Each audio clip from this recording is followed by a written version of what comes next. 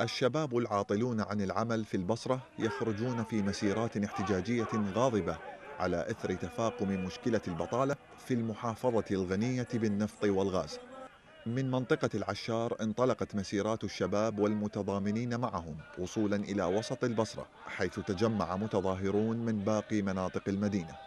المتظاهرون نددوا بتغول الفساد والمحسوبية في مقابل هدر الطاقات الشبابية. هدر قال المتظاهرون إنه متعمد من قبل أحزاب السلطة. بصرة مليئة بالثروات من موانئ ومن حقول ومن العديد من الثروات تمتلك شبابها للأسف يعني.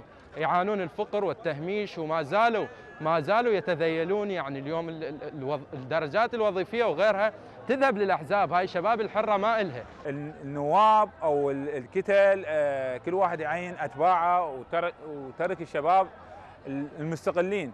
فاليوم الشباب خروجهم المطالبة بفرص عمل في الشركات النفطية بسبب الجوع والحرمان. كل شيء كل شيء بأحزاب. هذا جاي يصير بينا والظلم وهاي الشباب الجايين تنظلم كلها أحزاب. حتى شغل عماله صار على الواسطات.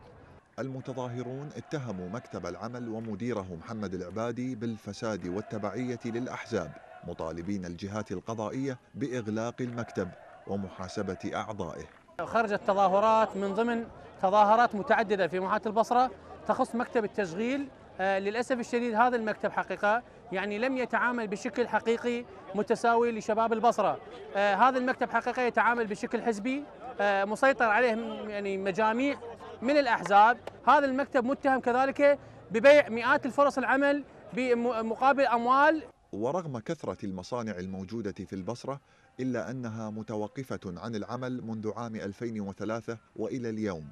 وفيما يخص الشركات العاملة في البصرة فهي توظف عمالا أجانب بشكل مخالف للقانون كما يؤكد متظاهرون. محافظة البصرة تمتلك مئات الشركات الأجنبية التي لديها عقود مع وزارة النفط بالإضافة إلى الموانئ العراقية. ولكن للأسف هذه الشركات تستعين بالأيدي العاملة الأجنبية وتفضلها على الأيدي المحلية.